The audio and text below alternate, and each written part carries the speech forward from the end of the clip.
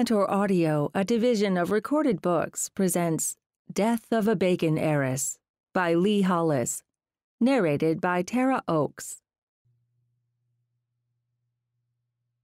Chapter 1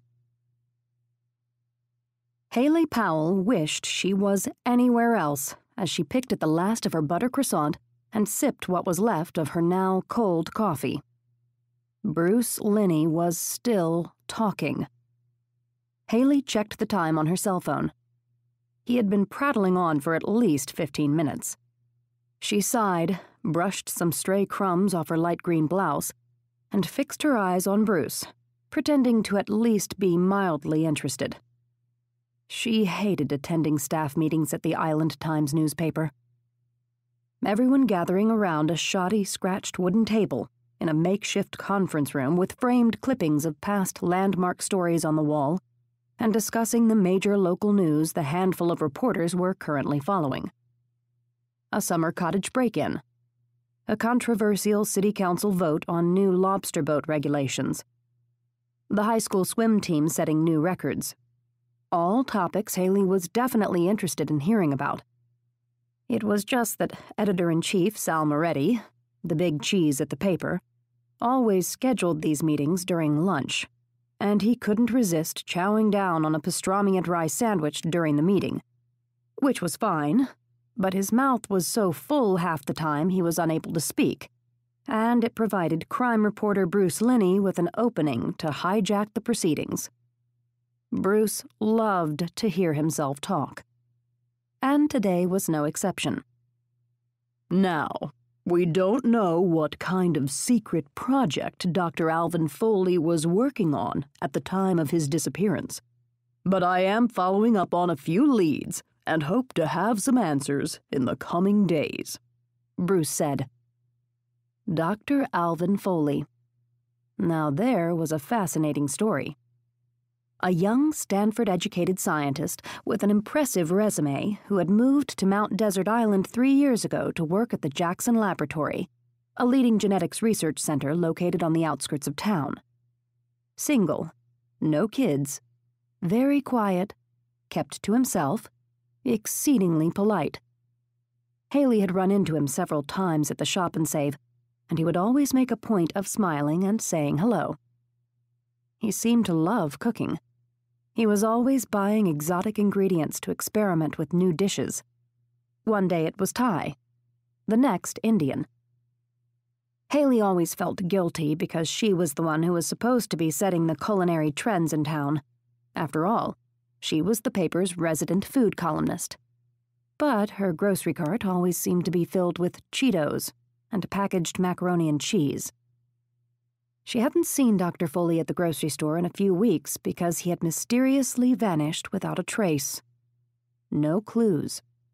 No evidence of wrongdoing. But the rumors were flying around town fast and furious. Kidnapping, extortion, murder. Was he working on some kind of top secret medical breakthrough cure at the lab? And was someone willing to do him harm and steal his research in order to beat him to the punch? That was the kind of rampant speculation everyone was gossiping about at the grocery store, at the high school baseball games, at the church socials. It was all anyone could talk about. Hayley's phone buzzed. She looked down at it, cradled in her lap, hoping it might be Aaron or one of her kids. But it was just Liddy confirming their girls' night out at Drinks Like a Fish, her brother's bar, after work. Hayley felt a lump in her throat. She was missing her kids big time. Gemma was attending the University of Maine at Orono, studying for a bachelor degree in animal and veterinary science. And Dustin had recently been awarded a huge opportunity to spend the spring semester in Boston, taking a college prep course in graphic design at the Massachusetts College of Art and Design. She was so proud of them. But they were growing up so fast. It scared the hell out of her. She hated to admit she was suffering from a bit of empty nest syndrome. For so many years, she had dragged those kids out of their beds to get ready for school, made them lunches, yelled at them to finish their homework. She had grown so accustomed to her roles as guardian, caretaker, and drill sergeant, she was a little lost now that those roles no longer needed to be filled. It was tough going home after work to an empty house. She still had her loyal and loving dog, Leroy, and her demanding and moody cat, Blueberry, but it just wasn't the same. Now, I interviewed Dr. Foley's parents in Oregon, and they said he had no enemies to speak of and was a dutiful son. They don't see any reason why anyone would want to hurt him. I put in some calls to Stanford and spoke to his professors, and they all said the same thing. God, Bruce was still talking. This was not new information. Bruce had presented all of this exact information at last week's staff meeting ad nauseum. But he wanted to put on a good performance for Sal and show him he was still working hard on the case. As for Sal, he wasn't even listening. He was opening his mouth as wide as he could to slide in the second half of his pastrami sandwich. Hayley returned to her own thoughts again. Aaron, the handsome local vet she had been dating for a while now. She had thought their relationship was progressing. He seemed engaged. He was certainly affectionate. But over the last month or so, he had seemed to pull away. She'd heard from him less. He'd canceled a couple of dinner dates. When she texted him or left a voicemail, he would take longer than usual to get back to her. It was starting to worry her. She had no idea where all of this was leading, or even whether this was the man she wanted to spend the rest of her life with. But she had grown so fond of him and didn't want to lose him from her life. Excuse me, Hayley. Did you hear me? Hayley snapped to attention. I'm sorry, what? I asked you a question, Bruce said, scowling, arms folded across his chest. I didn't hear it, Hayley said, clearing her throat. Could you repeat it? Am I boring you? Hayley bit her tongue. Don't answer that. Don't answer that. I'm just a little distracted today, Bruce. My apologies. What was your question? I asked you if you had any plans to investigate the Dr. Alvin Foley story. Bruce said, eyes fixed upon her like a laser beam. Why would I write about that? I'm the food and cocktails columnist. You're the crime reporter. Good. I'm happy to hear you're clear on that. Because my gut is telling me this is a big and complicated story, and we don't need some amateur sleuth sticking her nose into it and muddying the waters. He said smugly. Muddying the waters? Hayley couldn't even count the number of times she had jumped into a criminal investigation in the recent past and did Bruce's job for him. And she still let him take all the credit in his own column. He should be on his knees thanking her. But she decided to stay mum. She simply nodded in agreement and let him continue his one man show. Hayley had zero plans to interfere with Bruce's fact finding mission anyway. She was too preoccupied with her personal life. Or lack thereof. Besides, there was another story, completely unrelated to the strange case of the missing scientist, that was about to rise above the horizon. And it was a doozy. This one did not involve a missing person. This person would be found very much dead. Chapter 2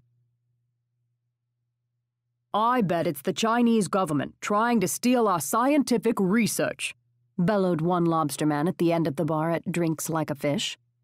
You can't trust 'em. Nope, can't trust 'em. And with that, the grizzled, bearded lobsterman downed his mug of beer and slammed the empty glass on the bar, signaling Hayley's brother, Randy, who was owner and barkeep, to pour him another. Hayley sat on a stool at the other end of the long wooden bar, nursing a Jack and Coke, and waiting for her two BFFs, Liddy and Mona, to arrive.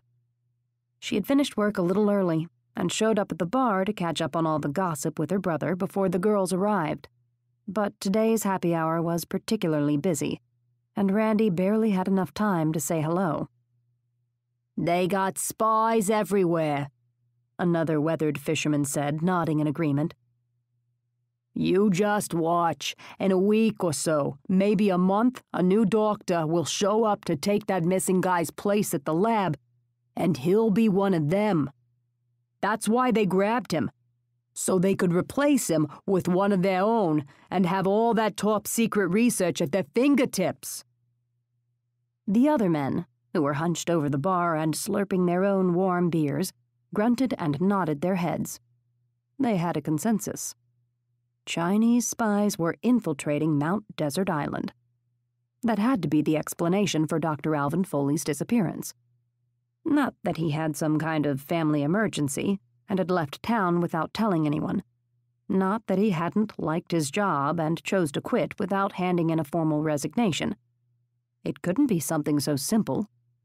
No, it had to be much bigger and none of the locals would be satisfied until they spotted James Bond parachuting onto Sand Beach from a passing plane to take out the nefarious evildoers bent on world domination. Randy caught Hayley's eye and grinned. This was par for the course at his bar. Men out in tiny boats on the harsh, unforgiving sea all day hauling traps for meager wages, enjoying some downtime by clouding their minds with alcohol and allowing their imaginations to run wild before returning home to their families. Another bearded man, with a black cap and wearing overalls, sat at a table a few feet from the bar. He raised his own mug, clutching the sides with his pudgy red hands and dirt lined fingernails. I think you got it all wrong, bub. It ain't the Chinese. That's just crazy talk.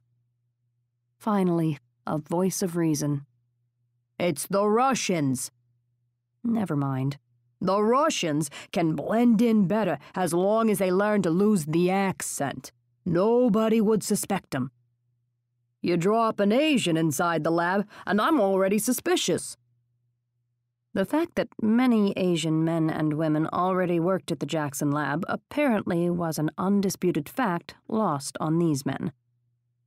The door to the bar flung open, and Liddy hustled inside. She hurled her tote bag on top of the bar and slid up on the stool next to Hayley. Sorry I'm late. I was showing a property to a couple from Brunswick who couldn't make up their minds. I hate wishy washy people. Just make a damn decision. Brandy came over and smiled at Liddy. What can I get you, doll? Something sweet. Like a mojito. No, wait. A daiquiri. No, I don't want to risk a brain freeze. How about. What are you drinking, Hayley? Oh no, forget it. I don't want a Jack and Coke. Let me think. Should I go simple and have a Rose Kennedy? But vodka gives me a headache. Just make a damn decision, Hayley thought. There was no way she would ever say that out loud. Where's Mona? she asked. I saw her outside trying to find parking for that ridiculously big truck she drives.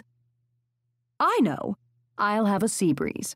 No, make it a greyhound. I'm in a pineapple mood. You sure? Randy asked. Yes. Wait. No. Yes. Greyhound. Yes, Liddy said, still not sure. I'm going to go make it now, okay? Randy said, backing away. You can always order something else if it turns out to not be what you want, Hayley suggested.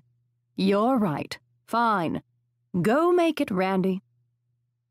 Randy was already pouring from the carton of pineapple juice. Now, what were we talking about? Liddy asked. Wishy washy people who can't make up their minds, Hayley replied. Right. God, I wanted to shoot myself. How does anybody deal with people like that? The lobster man with the weathered face who had first proposed the Chinese spy theory was now wagging a finger at the man seated at the table as he downed yet another beer white foam settling into his thick, shaggy beard. Of course, it could also be Middle East terrorists. The Jackson lab is a prime target for those nut jobs. Just think what would happen if they got their hands on some deadly airborne virus. They could just pop open a vial and let the wind do the rest. Bar Harbor could be ground zero for a bioterrorist attack. What the hell are they talking about? Liddy asked, stirring the Greyhound cocktail Randy had just slid in front of her. Don't ask, Hayley said, shaking her head. Mona burst through the door, red faced and eyes blazing. She marched over and struggled to lift her bulky frame up onto the last remaining stool alongside Hayley and Liddy. Sorry I'm late. Liddy stole my parking space. I did no such thing, Liddy said, setting down her drink. Oh, this is too sweet. I'm going to order something else. I pulled my truck ahead to parallel park it in the space right out front, and Liddy came roaring up behind me in her fancy Mercedes and just pulled in and took it. I had to go park behind the drugstore. I was doing you a favor, Mona. There was no way that monster truck you drive was going to fit in that tiny little space. You would have taken the front bumper off Hayley's car in the space behind it and right now you'd be on your knees begging her for forgiveness. There was plenty of room for my truck. You were just being your usual selfish, everything is mine self. Well, at least you're both here now, Hayley said, hoping to calm the situation. That is so typical of you, Mona, pinning your bad decisions, like buying that gas guzzling crime against the environment monstrosity, on me. Well, I won't have it. So much for calming the situation. Oh, and I suppose that expensive Mercedes you tool around town in runs on cow dung? Mona screamed, waving her hands at Randy to bring her usual Bud Light. Hayley knew the only way to stop the sudden escalation of Liddy and Mona's latest diatribe against one another was to take drastic action. Like dropping a bomb. And that's exactly what Hayley decided to do. Aaron's going to break up with me. Liddy and Mona stopped yelling at each other instantly. How do you know? Liddy gasped. It's just a feeling I have. He takes so long to return my calls and texts. We hardly see each other. We had dinner a week and a half ago, but that's it. He says he's busy with his practice, but I think it's more than that. Have you talked to him about it? Mona asked. I'm working up the courage. I think I'm avoiding a conversation because I dread how it might end. Honey, you could be misreading this whole thing, Liddy said. Sometimes, when a man suddenly pulls away, it could mean a number of things. He could be telling the truth, and he's just busy. Or he's dealing with a personal problem he doesn't want to drag you into. Or he really is getting ready to dump you, Mona offered. Liddy grimaced and shook her head. Or there is another reason he may be avoiding you, and I have seen this happen so many times. There is the possibility that he's getting ready to. Her voice trailed off. What, Liddy, what? Getting ready to what? Hayley cried, unable to take the suspense. Propose! Liddy screamed at the top of her lungs. She was so loud, the gaggle of fishermen stopped their heated discussion about Chinese and Russian spies invading Maine and turned to see what all the fuss was about at the other end of the bar. Now that's just ridiculous, Hayley said, laughing it off. Think about it. You've been dating a while now. You've both expressed your feelings to one another. Gemma's already at college, and Dustin has one foot out the door so there's no awkward stepfather drama to deal with. Mona, help me here. I think she may be onto something, Mona said, shrugging. Et tu, Mona? Hayley couldn't get her mind around the idea of Aaron proposing.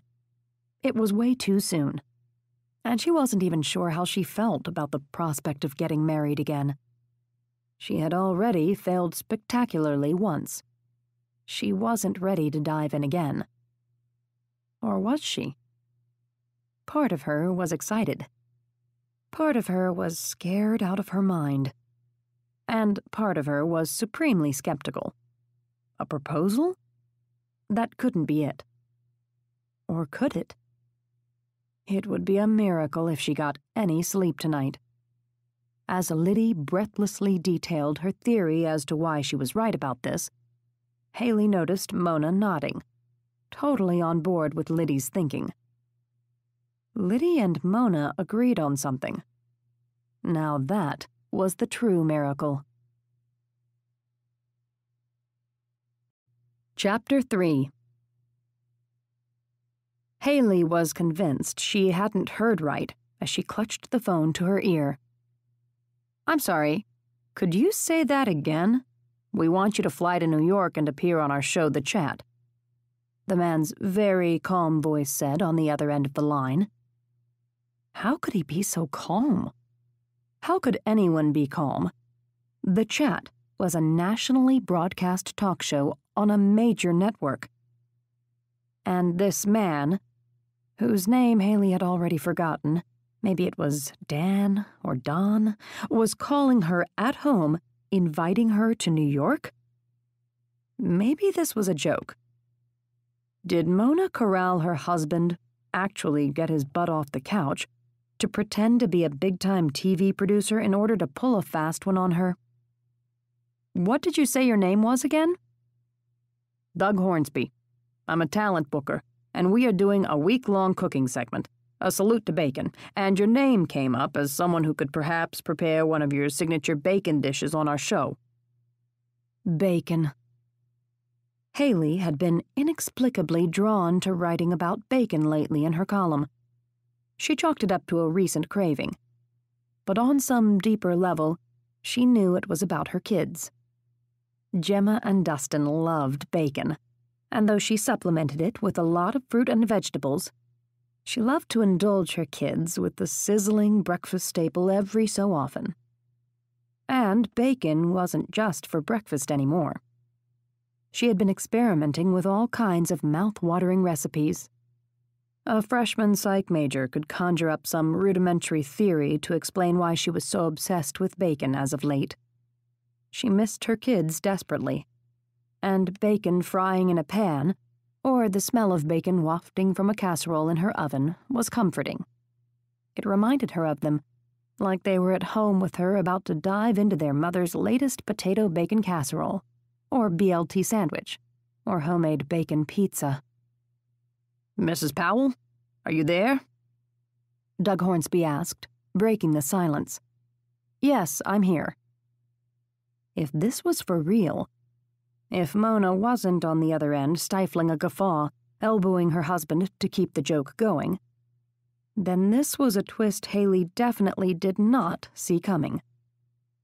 When she'd arrived home from Randy's bar, the house had been dark and chilly, the temperature outside low for a late spring evening. Haley had warmed up with a cup of hot chocolate and tried calling her kids. She'd gotten both their voicemails. She didn't leave them messages. They would call when they had a free moment. Or at least she hoped. She'd debated calling Aaron. Just check in to see if he was having a good week. Then she'd decided against it. She wasn't going to throw herself at him. If he wanted to see her, he could pick up the phone. Her shih tzu, Leroy, had scampered into the kitchen, wide eyed and excited to see her but once she poured some kibble into his paw print bowl, he shifted his focus to his food and ignored her completely. Once the bowl was licked clean, he'd trotted into the living room to jump up on the couch he wasn't supposed to be on and nestled into his favorite silk pillow. Hayley had relaxed the house rules considerably with the kids gone, and both her pets were taking full advantage of her leniency her giant furball Persian cat, Blueberry, was undoubtedly upstairs curled up on her bed, wallowing and purring in the 300 thread count sheets from the Martha Stewart collection Hayley had splurged on and ordered online from Macy's when she received a slight pay increase the previous month. When the phone had rung, it startled her. She was just sitting in her oversized recliner in the dark, fingering the TV remote, not even sure she wanted to turn it on to try and find something to watch. At first, she'd thought it might be one of the kids calling her back. Or Aaron. But she hadn't recognized the number. 212. Was that New York? She'd assumed it was just a telemarketer and wasn't going to answer it. But she was sitting in the dark, with an empty mug, and staring at her walls. Why not see who it was, just for kicks? It was something to do. Hello? And that's when she met the disembodied voice of Doug, the booking manager for the chat a show she watched religiously whenever she was homesick or had the day off. The panel was made up of three prominent women a former newswoman, a comedic actress, and a lifestyle expert. They would open each show with a freewheeling discussion about the major news stories of the day, and then segue into celebrity interviews, shopping tips, and cooking segments. It was a breezy, fun way to kill an hour, and the show was a rating success for the network. Doug was still talking. We had a Food Network personality booked, but her son got the measles and she had to drop out. We need a fill in, and your name came up. How on earth did you find me? Rhonda's a fan, he said. Rhonda. Rhonda Franklin, the comedic actress on the panel. She was a larger than life, boisterous stand up comic turned actress who had starred in a few Hollywood blockbusters, headlined her own sitcom for five years, and worked tirelessly to bring attention to the causes she was passionate about, like breast cancer and domestic violence. She was big, bawdy, and made a lot of noise whenever she mouthed off about anything. Hayley was an unabashed fan of the sometimes controversial, but always hilarious woman especially when Rhonda had made the bold move to come out of the closet as a lesbian years before gay marriage was even the norm. It was a risk to her career, but in the end, it just made her more famous. You. You said Rhonda is a fan? Yes, she's visited Mount Desert Island for several summers now and calls it her second home. The last time she was there, she subscribed to your paper, the Island Examiner. Island Times. Right. Anyway, she discovered your column and now she never misses it. This was too surreal. And this phone call couldn't possibly be Mona playing a prank, because even she wouldn't go so over the top and say Rhonda Franklin was a loyal reader of her small town food and cocktails column. Nobody would buy it. I'm in a bit of a bind, Hayley.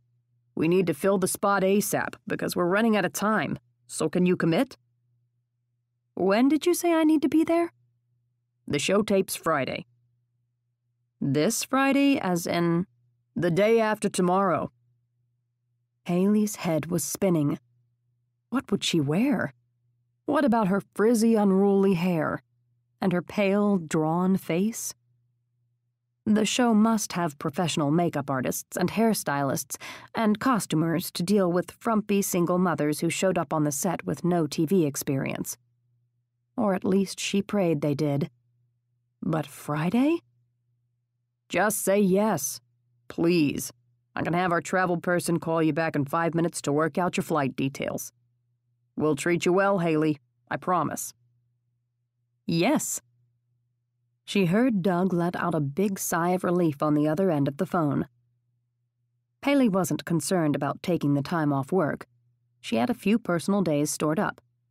And Sal would probably be over the moon that she would be on a big time national TV show talking about his paper, the Island Times, and not their rival publication, the Bar Harbor Herald.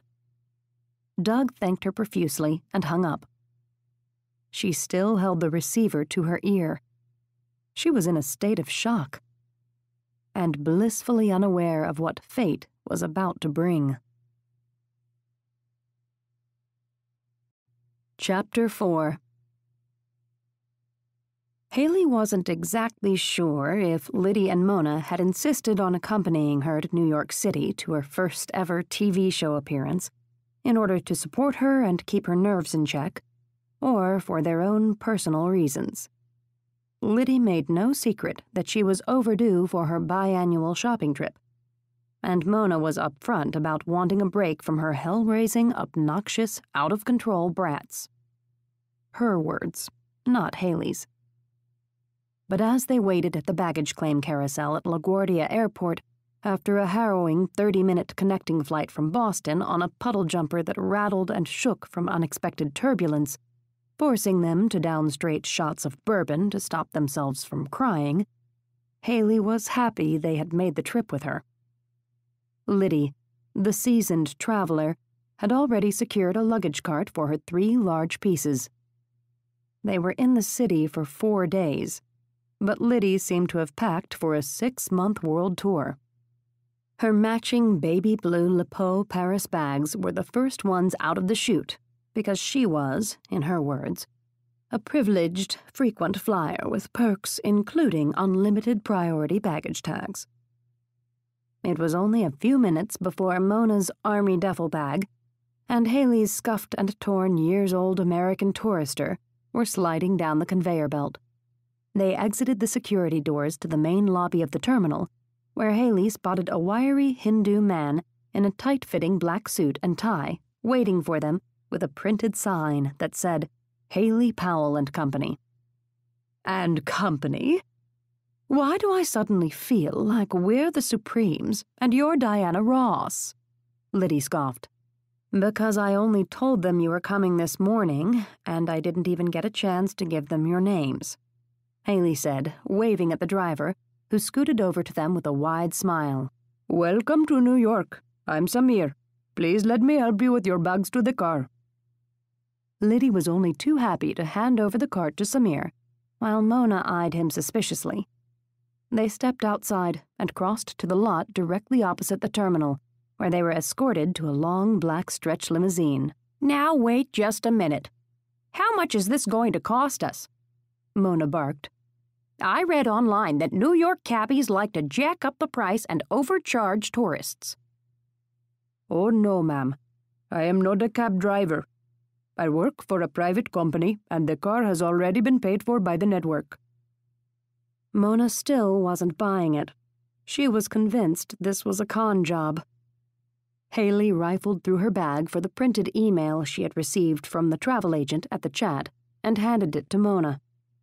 Look, Mona. All expenses will be paid, including lodging and transportation to and from the airport. They're covering everything.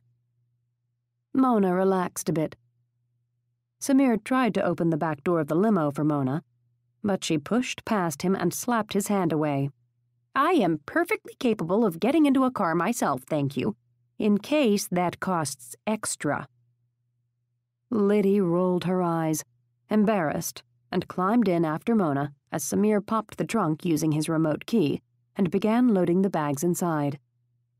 Hayley couldn't believe they were actually here. It had all happened so fast.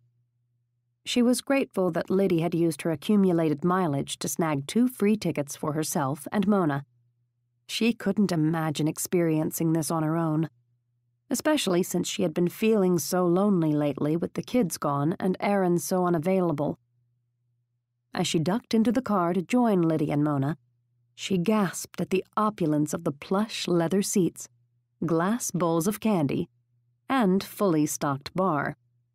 Liddy was already pouring herself a cocktail. Help yourselves, ladies. It's going to be at least a 45 minute ride to the hotel now that it's close to rush hour. Liddy said. Mona poked around the tray full of tiny liquor bottles. I don't see a card with drink prices. Liddy sighed. It's complimentary, Mona. Mona hesitated, but quickly got into the swing of things and was excitedly screwing off the cap on a blueberry vodka sampler while downing a fistful of pretzels. Samir put on some soft music, and they were soon crawling along the Grand Central Parkway toward Manhattan.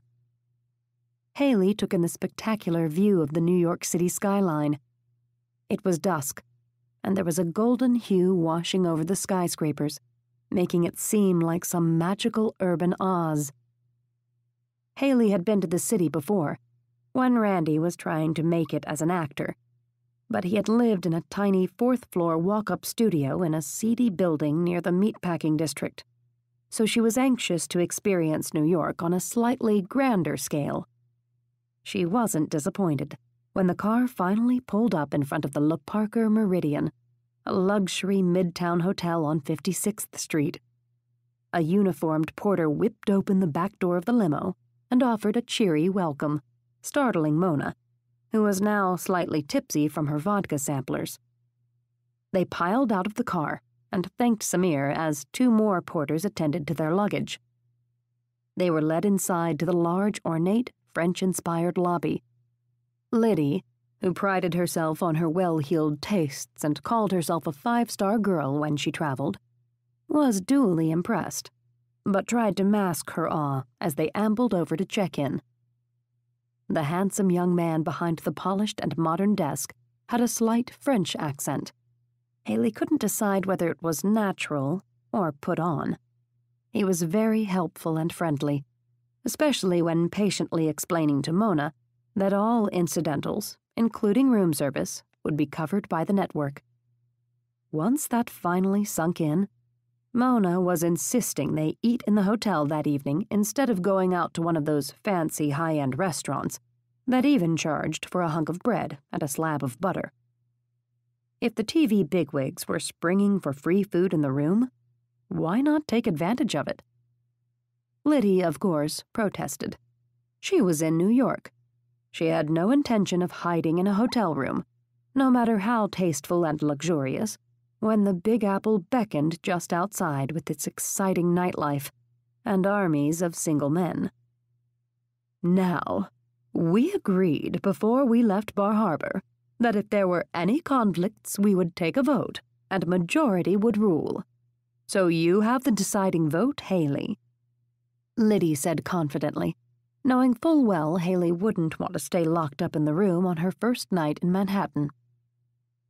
They walked onto the elevator, and Liddy pressed the 38th floor button, and within seconds they went speeding up into the clouds. There was a moment of silence. Liddy eyed her warily. Hayley? Well, we are here for the whole weekend after the taping, Hayley said quietly. Hayley, no! Liddy screamed, as Mona folded her arms, a self satisfied smile on her face. It's just that I'm really nervous about tomorrow, and I need to get a good night's rest. And I'm fine if you want to go out on the town without me. But I have to prepare and to think about how I'm going to present my bacon dish in under a minute in front of all those TV cameras and a full studio audience, and that's a lot of pressure. So I'd rather wait and have fun once it's all over. More silence. Although Mona's smile spoke volumes. She knew she had the vote in the bag. The elevator doors opened on the 38th floor, and Liddy shook her head before stepping off. Fine. We'll stay in and order room service. But just tonight, do you hear me? I am not going to spend the entire weekend in the hotel because Mona doesn't want to pay for a club sandwich. After they trekked down the hall to their room and let themselves in using the card key, they found themselves in a deluxe room with two queen beds with swirly print bed wraps and white embroidered pillows set up against flat headboards that soared up to the ceiling. Mona already had her hands on the TV remote and was jabbing at it with her index finger, trying to figure out all the functions. Liddy raced into the bathroom to claim the majority of counter space and was calling back, Bathroom's tiny for a five star hotel but I guess we can make do. Hayley sat on the edge of one of the beds, which she was certain she would be sharing with Liddy since Mona was a restless sleeper and tossed and turned between her loud honking when she snored. Both she and Liddy had picked up earplugs at the Bangor International Airport gift shop before the Bangor to Boston leg of their trip, knowing they would be sharing a room with Mona. The butterflies in Hayley's stomach were already flapping so hard she had trouble catching her breath. Liddy sailed out of the bathroom, feeling right at home in the plush accommodations, and noticed Hayley's pale face. She sat down beside Hayley on the bed. Honey, you're going to do a great job tomorrow. You have nothing to worry about, she said. You're Hayley Powell food and cocktails columnist for the Island Times. You're a star. Hayley smiled and rested her head on Liddy's shoulder. Everybody at home is going to be watching, and I just don't want to blow it. Suddenly, it sounded as if a man had burst into the room and was yelling at them, and they both jumped. But it was just Wolf Blitzer on the Situation Room. Mona had found the volume button on the remote. Now, it's after five, so we all know what that means, Liddy said. They all responded in unison. Happy hour. Exactly, Liddy said, standing up and crossing to the desk to pick up the room service menu. So, let's calm our nerves with a cocktail since it seemed to do the trick on that horrific and traumatic flight here. We hope you enjoyed this preview. To continue listening to this audiobook on Google Play Books, use the link in the video description.